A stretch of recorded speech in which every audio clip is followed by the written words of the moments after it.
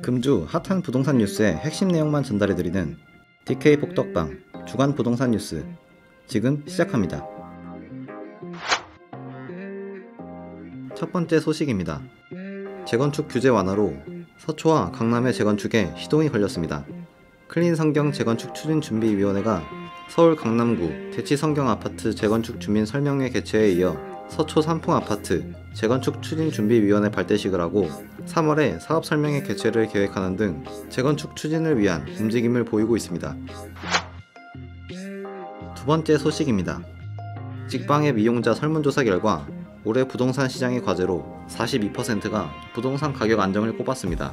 올해 발표한 정책 중 가장 기대하는 건 전세 사기 근절 및 피해자 지원이며 추가로 LTV, DSR 등 대출 제도 개선을 원했습니다.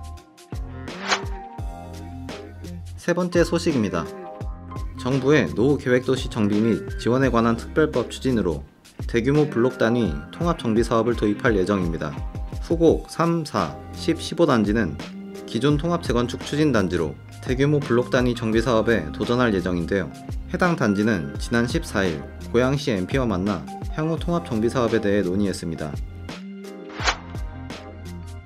네 번째 소식입니다. 집토스 조사 결과 지난해 12월부터 올해 1월까지의 집합 건물 임차권 등기 신청은 4,441건으로 전년 대비 3.5배 급증했습니다. 이 중 수도권이 80%를 차지하며 계약이 만료되면서 2년 전 전세 계약의 11%가 임차권 등기로 이어졌습니다. 다섯 번째 소식입니다. LH가 올해 공동주택 용지 60필지를 내놓는다는 소식입니다. 네달 중 공동주택 용지 설명회를 개최하며 4월에는 투자 설명회를 개최할 예정인데요.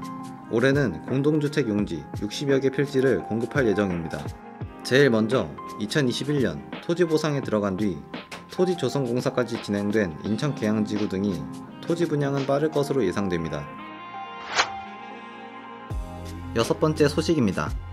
전국 가로주택 정비 사업장에서 허그의 주택도시기금 집행이 안 되고 있는 상황입니다. 허그가 가로주택 정비 사업의 활성화를 위해 저금리로 초기 사업비 대출을 지원하고 있지만 수개월째 대기 중인데요.